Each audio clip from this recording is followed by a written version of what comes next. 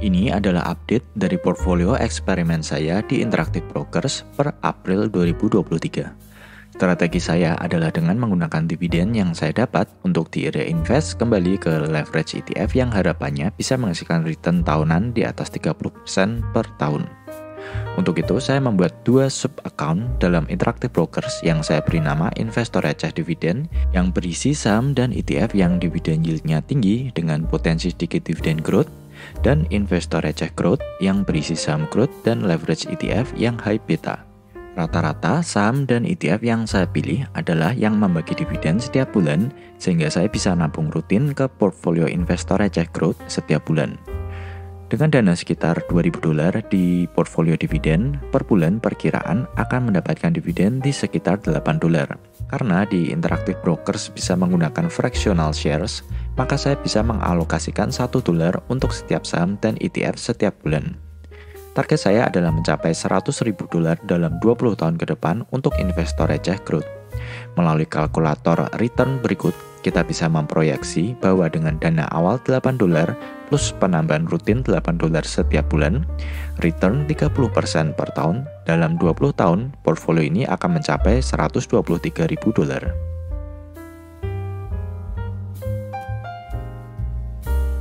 Kita mulai dulu dari portfolio investor receh dividen. Di dalam portfolio ini, saya desain untuk mencari dividen setinggi-tingginya setidaknya di atas 7%. Sehingga dividen yang saya terima setidaknya ada di kisaran 8 dolar per bulan agar pas untuk reinvest ke 8 saham di dalam portfolio investor receh growth. Ada 7 saham di dalam portfolio investor receh dividen. Kita bahas satu persatu. Saat ini posisi terbesar saya ada di SCHD atau Swap US Dividend Equity dengan cost basis 300 dolar. Ini adalah ETF produk dari Swap yang memiliki benchmark Dow Jones US Dividend 100 Index. ETF ini bagi dividen setiap kuartal dan saat ini memiliki yield di sekitar 3,5%. Tujuan saya beli SCHD adalah untuk capital gain dan dividen growth.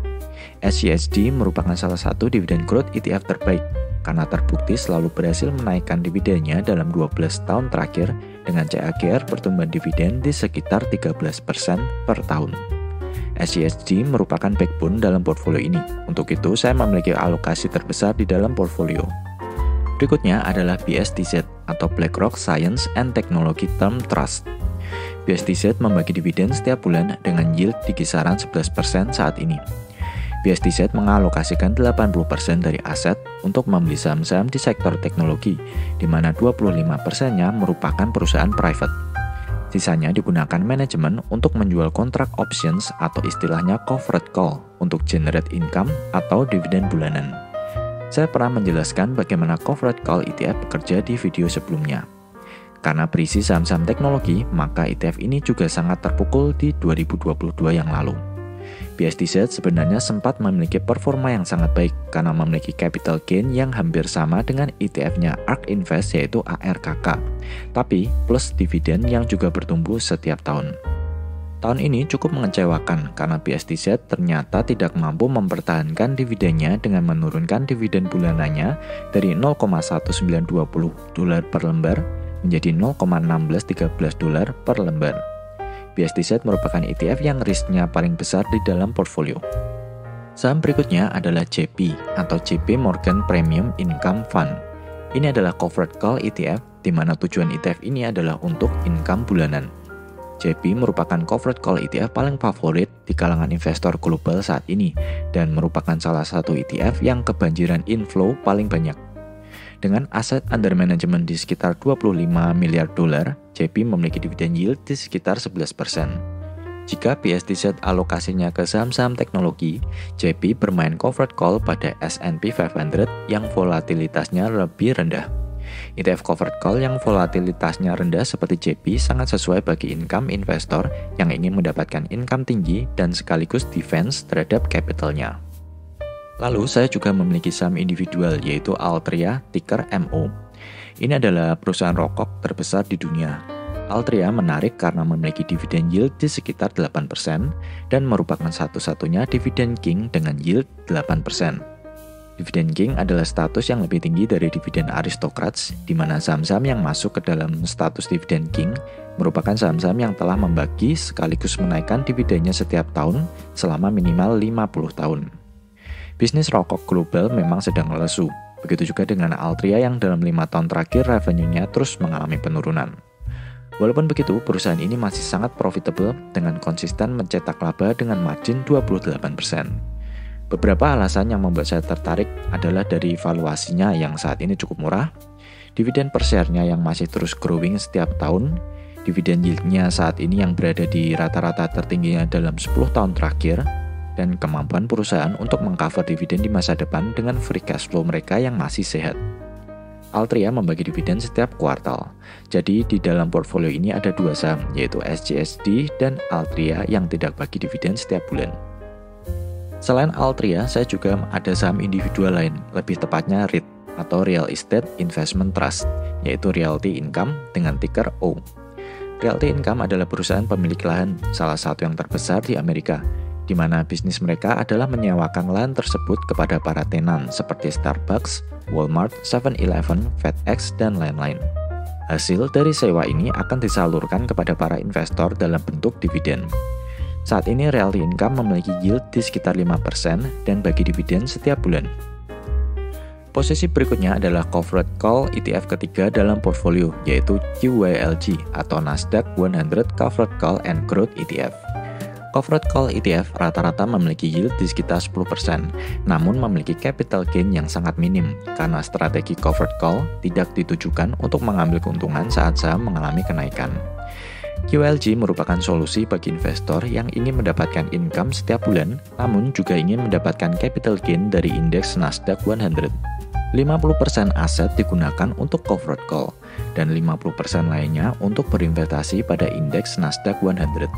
Saat ini QLG memiliki yield di sekitar 5,6%. Saham ketujuh dalam portfolio adalah SPHD, Invesco S&P 500 High Dividend Low Volatility ETF. ETF ini ditujukan bagi investor yang ingin ETF yang membagi dividen setiap bulan namun tidak volatile.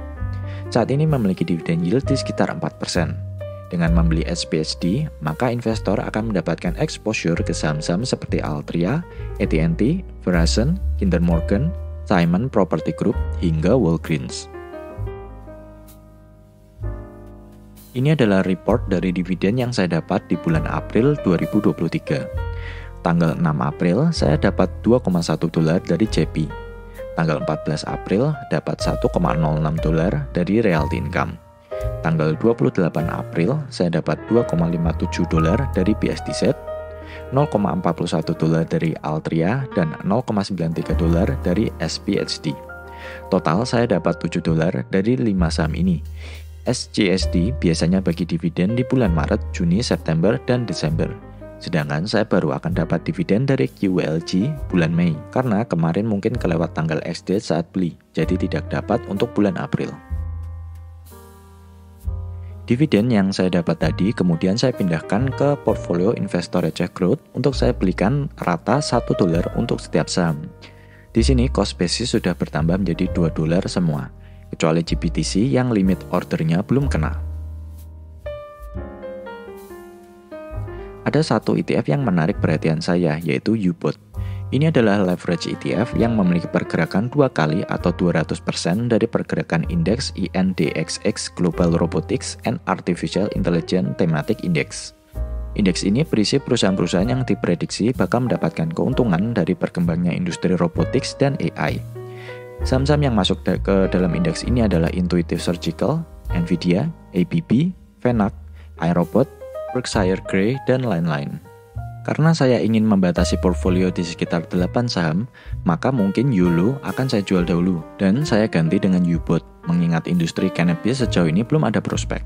Buat teman-teman yang masih pemula, mohon jangan membeli leverage ETF seperti di dalam portfolio saya ya. Leverage ETF merupakan produk yang sangat volatile dan kalau salah timing beli bisa membuat dana investasi lenyap dalam sekejap. Saya sendiri berani membeli mayoritas di leverage ETF karena saya menggunakan dana dari dividen yang sangat sedikit. Di portfolio pribadi saya juga sebagian besar masih berisi saham dan ETF yang konvensional tanpa leverage. Oke, saya rasa segini dahulu update portfolio investor receh. Semoga saya bisa rutin update terus setiap bulan. Terima kasih sudah menonton sampai akhir.